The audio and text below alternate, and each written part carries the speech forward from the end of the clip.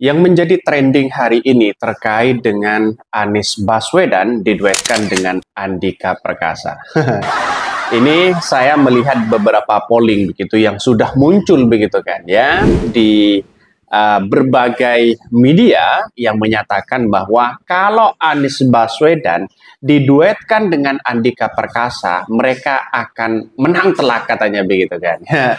ini banyak sih sebenarnya uh, apa namanya uh, kalkulasi politik yang kemudian yang di polling oleh uh, apa namanya Rifli Harun begitu kan. Saya saya kutip dari uh, apa namanya dari channel uh, Rifli Harun pertama terkait dengan Anies Baswedan Andika Perkasa. Mereka menduduki 52 persen. Bayangkan 52 persen itu menandakan bahwa Anies Baswedan sudah menang begitu kan? Dibandingkan dengan yang lainnya begitu. Terus ada lagi ada Anies Baswedan, Mardani Alisera ya. Mardani Alisera ini uh, dari PKS juga dia mendapatkan 24 persen. Bayangkan 24 persen kan kecil di situ begitu kan ya. Maka ada Anies Kaisang banyak yang tidak setuju kalau Anies Anies uh, Baswedan dengan Kaisang diduetkan begitu hanya menduduki 5 persen.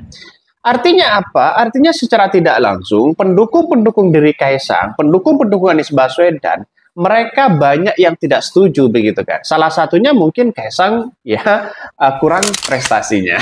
Misalnya begitu kan. prestasinya tidak ada dan sebagainya. Yang kedua Anies Sahroni, dia menduduki 6% juga sama dengan Kaisang begitu kan, 11 12 ya. Terus ada yang mengatakan Anies Sudirman Said 14 ya, menduduki 14 persen. Tapi ada yang kemudian polling Anies Baswedan itu sangat tinggi, yaitu adalah Anies Baswedan, Ridwan Kamil. Saya kira juga tidak mungkin satu sisi begitu kan ya. Maka yang jelas dalam pertarungan ini ya bisa saja Anies Baswedan Andika versus Ridwan Kamil uh, Kaisang ya atau Ridwan Kamil dengan uh, sepupunya Prabowo dan sebagainya itu sudah menunjukkan bahwa tren hari ini yang begitu populer ya di DKI Jakarta yaitu Anies Baswedan, Andika Perkasa, Ahok, Bu Risma sama Ridwan Kamil. Ini menandakan bahwa apa yang kemudian dilakukan oleh uh, Anies Baswedan, Anies Baswedan posisinya masih uh, apa namanya masih posisi teratas di situ begitu dibandingkan dengan Ridwan Kamil. Maka muncullah survei-survei Pilgub Jakarta ya versi ASI di situ bahwa bagaimana pertarungan antara Ridwan Kamil, Anies Baswedan dan Heru Budi. Heru Budi ternyata tinggi begitu kan ya. Nggak tahu apa yang kemudian mereka uh, amati tapi yang jelas adalah Anies Baswedan itu sama Ridwan Kamil 11-12 angka suaranya. Tapi potensi untuk menangkan Pilgub DKI Jakarta yaitu Anies Baswedan. Mengapa saya katakan seperti itu?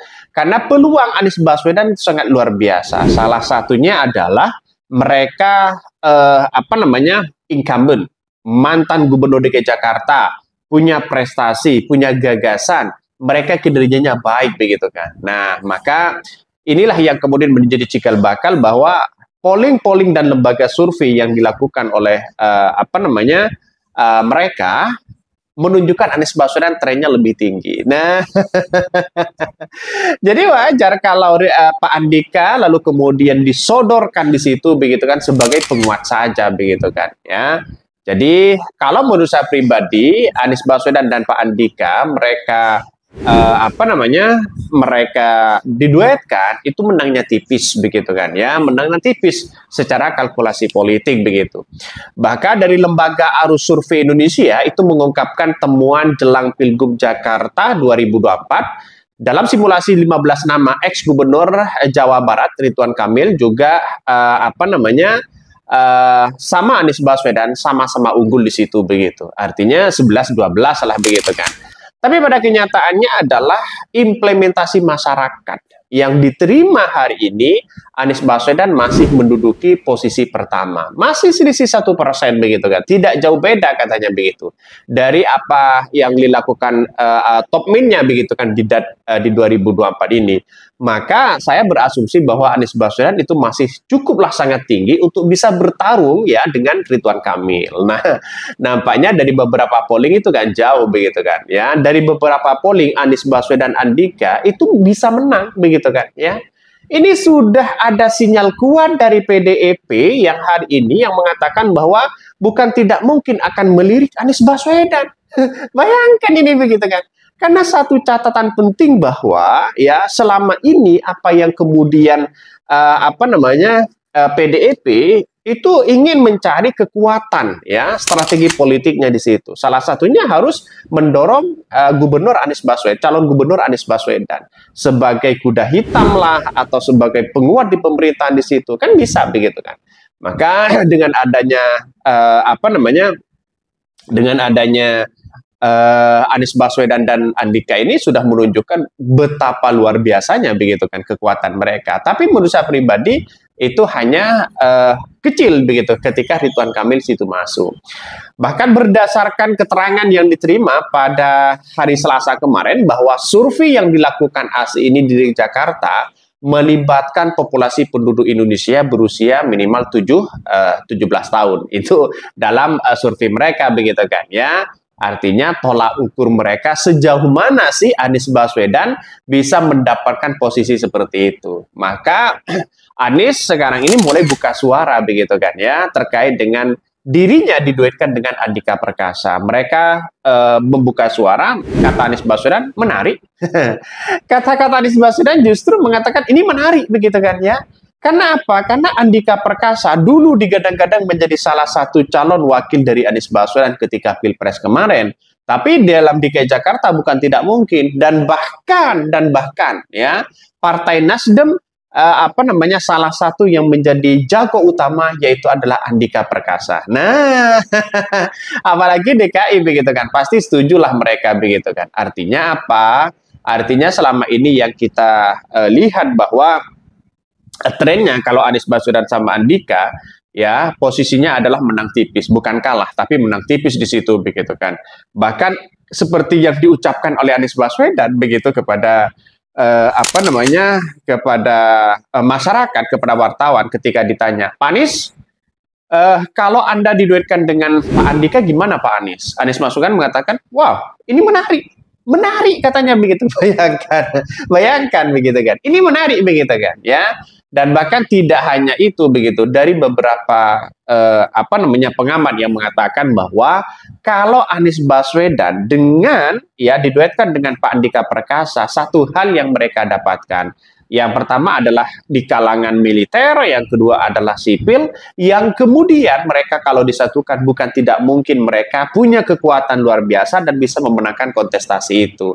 Walaupun ya Anies Baswedan sudah buka suara soal dukungan dengan sekelompok masyarakat ya agar dirinya diduetkan bersama mantan Panglima TNI tersebut yaitu Pak Andika Perkasa. Nah, saat ditemui kemarin ya Anies Baswedan hanya menjawab ini menarik ini menarik. Dengan jawaban yang sangat-sangat-sangat singkat, menandakan bahwa Anies Baswedan memberikan sinyal kuat. Ya mau diduetkan dengan siapa pun. Dengan Pak Andika, oke okay lah. Dengan ini, oke okay lah. Dengan itu, oke okay lah. Ya, tapi satu-satunya yang menjadi kingmaker di situ adalah bagaimana Partai Nasdem, Pak Surya Paloh, apakah setuju dengan Pak Andika? Nah, kalau pilpres mereka uh, bukan tidak mungkin mereka mengusung Andika, apa uh, masuk radar Eh, Partai Nasdem Pak Andika ini bukan tidak mungkin di hanya sekelas gubernur dan sebagainya begitu kan.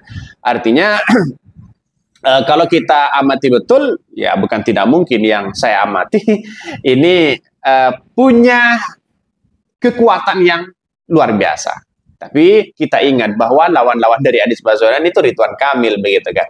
Namun ya Anies Baswedan secara khusus menyatakan ke apa namanya ketertarikan kepada uh, eh, PDIP dan ketua uh, eh, DPP uh, eh, partai tersebut ya juga mengatakan ya ini Puan Maharani mereka mengatakan wah ini peluang sangat luar biasa. Ini kan ketika Anies Baswedan digandeng dengan apa namanya dengan Pak Andika justru ini menjadi catatan penting kepada PDP 2017.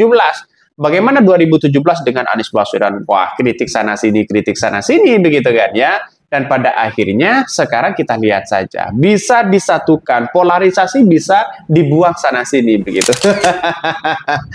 Dulu ya kita lihat saja Anies Baswedan dicap ini dicap itu dan sebagainya. Tapi yang saya uh, lihat hari ini adalah bahwa politik itu jangan uh, terlalu fanatik begitu kan ya karena Inilah politik. Yang namanya politik itu bisa saja musuh, bisa kawan, ya di dalam ini bisa punya kepentingan bersama bisa saja punya kepentingan-kepentingan tertentu. Itulah politik kita begitu kan. Maka eh, pemirsa ya sahabat channel dari podcast rakyat di mana pun kita berada, jangan terlalu fanatik terhadap dukungan-dukungan dan partai-partai tertentu karena mereka bisa saja bersatu, bisa saja berlawanan. Nah itu begitu kan ya. Bahkan dari perkataan dari Anies Baswedan, wah ini sangat menarik kalau dengan PDIP begitu kan ya. Kekuatan dari PDIP dari uh, DPRD-nya saja sudah punya uh, sudah kekuatan sangat luar biasa apalagi ditambah PKS begitu kan ya bahwa dan bahkan Anies berharap keputusan untuk dirinya maju akan disampaikan dalam waktu dekat.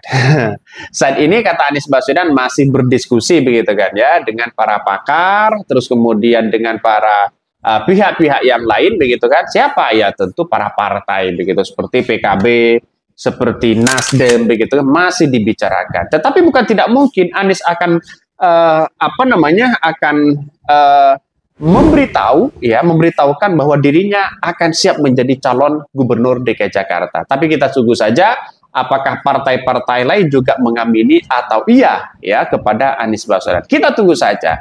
Tapi yang terpenting yang paling dekat dengan lembaga survei hari ini, yang paling dekat dengan polling-polling di masyarakat hari ini, ya terutama di masyarakat DKI Jakarta, yaitu adalah bagaimana Anies Baswedan diduetkan dengan Pak Andika Perkasa. Dan bahkan ini sekedar uh, informasi bahwa Anies Baswedan dengan Pak Andika ini dipaksa untuk bisa berduet di situ begitu kan ya. Tapi jawabannya kita uh, temukan di channel uh, selanjutnya.